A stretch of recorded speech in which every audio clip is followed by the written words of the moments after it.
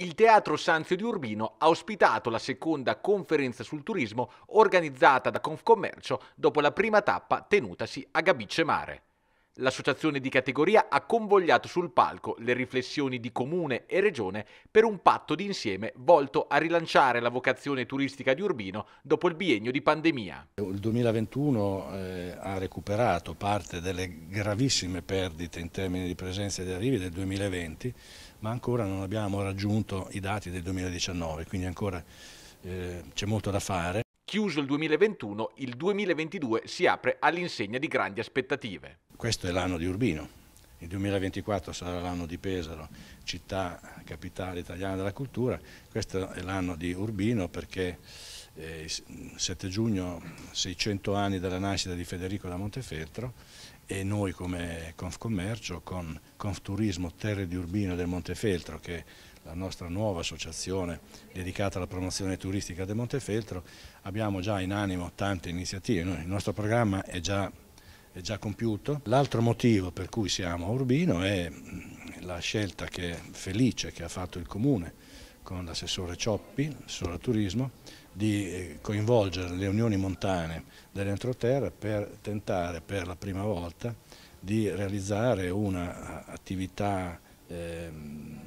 congiunta, una rete, creare una rete tra le istituzioni del territorio per fare una eh, promozione strategica insomma, del turismo. In questo caso noi ci proponiamo come Confcommercio e Confturismo Terre di Urbino e Montefeltro come DMO, cioè come soggetto attuatore delle politiche strategiche definite dalla compagine istituzionale. Ottimismo sulle strategie comuni che la Regione sta portando avanti, le migliorie infrastrutturali ricordate dall'assessore Baldelli, quelle promozionali sottolineate dal governatore Acquaroli. L'agenzia che avevamo annunciato l'anno scorso sta diventando realtà, ormai è una questione di qualche giorno, uscirà anche il bando per cercare il direttore, è già stata costituita e siamo proprio addirittura d'arrivo. Credo che l'agenzia possa rappresentare uno strumento di crescita come uno strumento di crescita della campagna promozionale che stiamo mettendo in campo per raggiungere quei mercati che eh, secondo noi possono portare in questo momento storico un maggiore afflusso di turisti, parliamo mm, dei mercati del centro e nord Europa.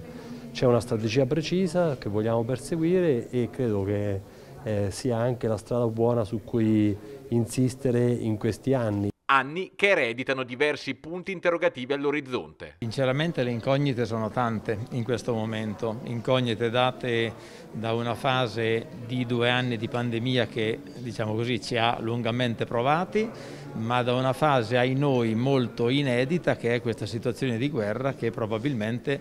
può diciamo, mettere in discussione alcune iniziative che erano consuetudine, ad esempio il turismo proveniente dall'est Europa per noi era una consuetudine ed era anche una fetta importante e questa cosa sicuramente verrà toccata. Io voglio pensare che ci possono essere comunque i presupposti per, fare, per dare una buona offerta turistica. Altre incognite sono quelle indicate dal sindaco Gambini. Adesso tutti parlano di questi fondi del PNRR io sono veramente molto preoccupato che non riusciamo a metterli a terra, questo è, è, è uno degli argomenti che secondo me bisognerà approfondire. Abbiamo soppresso il Ministero dell'Agricoltura e istituito un altro Ministero della Transizione Ecologica. Probabilmente se lavorava prima su questo tema la transizione ecologica era automatica, invece abbiamo distrutto un settore che oggi